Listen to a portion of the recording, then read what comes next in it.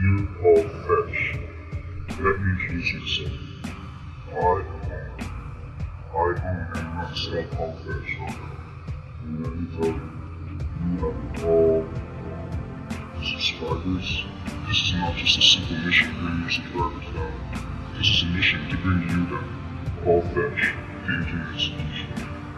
You have made a complete and utter ass of yourself, and let me tell you, Paul Fetch, I you. That's right, I own you, and let me you. Short time as you know has allowed me to meet some very interesting people. People who hate you, people who trust, people who will do anything to see you disappear off the internet.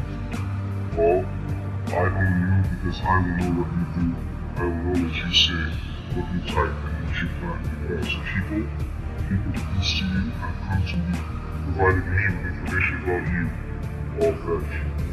No longer feasible for you to trust anyone on YouTube. You will fade, you will go away, you will fail. I am not anonymous, I am not an anonymous leader, nor am I the voice of anonymous. My recent conversations with members has given me a clear picture of what is thought about you and what is to be done. Paul, you are not the leader of Anonymous, and in fact, if you believe yourself, you will all be surprised.